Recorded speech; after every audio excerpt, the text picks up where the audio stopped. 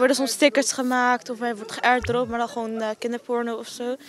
Ja, ik ben serieus. Je loopt gewoon langs de gangen, wordt opeens naar jou geairdropt. Nieuws. Hebben jullie het al gehoord? De telefoons mogen niet meer in het klaslokaal binnenkort. Dat heb ik niet gehoord. Dat zou ik wel heel vervelend vinden. saai de lessen dan worden. Dat is toch niet normaal? Waarom wordt het saai dan? Nou, dan kan je niet meer leuk je serietje kijken. Uh, ik vind het echt onzin. Waarom? Omdat, uh, omdat je je telefoon soms bij sommige dingen kan gebruiken. En ik vind het niet echt als een afleiding, het is meer als een hulpmiddel. Gebruik je hem ook niet voor andere dingen dan? Nee. Echt niet? Nee. Er komt misschien een uh, verbod voor de telefoons in het lassen. Hoe komt dat zo en waarom is het nodig? Ja, hoe komt dat zo? Uh, nou, laat ik beginnen met te zeggen dat het heel hard nodig is.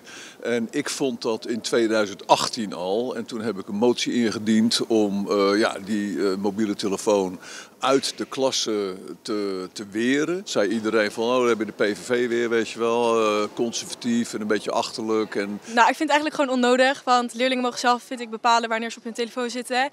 En bovendien, als ze op school dus verboden worden om op hun telefoon te zitten, dan gaan ze er dus na school heel erg veel meer op zitten, waardoor ze dus geen tijd meer hebben om huiswerk te maken en om te leren. Die scholen hebben uit een, uit een vorm van zwakte, een vorm van onmacht, hebben ze op een gegeven moment maar besloten om die telefoon dan op de een of andere manier maar te integreren in de lessen en zo. Maar ja, het, het, dat blijft natuurlijk een zwaktebod. Zie je alleen op de dingen op je telefoon voor school of doe je het andere dingen op je telefoon tijdens de les? Ja, nee, soms doe ik natuurlijk ook wel andere dingen, maar... Zoals? Uh, ja, op Snapchat, TikTok. Maar dat komt ook omdat de leraar soms ook gewoon uh, zegt van ja, ga dit maar doen, ga dat maar doen. En dan heb je daar soms ook gewoon even geen zin in. Dus eigenlijk ligt het aan de leraar? ja, soms wel. Nou, kom er maar even bij. Mevrouw, wat ligt aan u? Ja, daar ben ik niet helemaal met haar eens. Ik ben het vaak met haar eens, maar nu niet. Ik denk dat uh, al die afleiding van die telefoons, dat dat te groot is. Dat de, dat de verleiding gewoon te groot is. Wat we doen is in de telefoon zakken en dat helpt wel een heleboel. Maar die verleiding Tom de Ru, zegt ze. Nu heb je TikTok, je hebt al die sociale media en zo. En die kinderen, want dat zijn het, ook, ook die pubers en zo.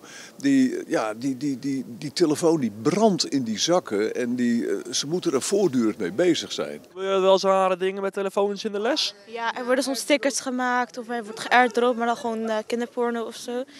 Ja, ik ben serieus. Je loopt gewoon langs de gangen, wordt opeens naar jou geairdropt. Dus, er wordt kinderporno geairdropt. Ja, of gewoon porno zelf. En er gebeuren best wel rare dingen. Want ik hoorde net op het schoolplein dat er in de, in de gang er werd er gewoon uh, kinderporno geairdropt. Dat is toch te gek voor woorden.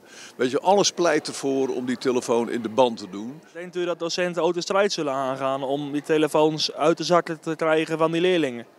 Nou, zo, kijk, op dit moment is dat zo omdat er geen generiek verbod is. Op het moment dat er generiek verbod is, kunnen ze heel makkelijk zeggen: jongens, daar zijn de kluisjes. Wegwezen met die dingen. Het is een, een, een regel, het is een wet. En ik probeer daar dus wel uh, ja, op in te spelen door eerst telefoon in de zak. En als het nodig is of als ze een opdracht krijgen, toch die telefoon af en toe erbij. Van mij zou die ook wel eruit mogen hoor, uit de klas. Maar zolang het zo is, dan uh, leer ik ze er zo goed mogelijk mee omgaan. Moet er ook geen telefoonverbod komen in de Tweede Kamer? Want we hebben natuurlijk gezien dat Rutte drie keer werd toegesproken over, over zijn telefoongebruik. Eén keer door Wilders en Esther Ouwehans. Moet er ook geen verbod komen in de Tweede Kamer? Een verbod lijkt me, lijkt me wat vergaand misschien. Maar uh, ik denk dat er wel een mea culpa past. Want uh, het is natuurlijk ook geen gezicht hè, als, een, als een minister daar zijn best staat te doen op een uh, verhaal en antwoord staat te geven op allerlei vragen. En je ziet al die Kamerleden aan die schermpjes gekluisterd zitten. Het zijn net pubers eigenlijk. Het zijn net pubers eigenlijk. Nou ja, misschien moet Vera Bergkamp, de voorzitter en het presidium, maar eens regels over, daarover gaan uitvaardigen. Ik voel een wet voor zo aankomen. nou, vond je het nou ook zo'n leuke video? Vergeet dan vooral niet eventjes te laten weten hoe leuk je hem vond. En even een like achter te laten. En even te abonneren. En hem even te delen met iedereen om je heen. Abonneren doe je trouwens hier.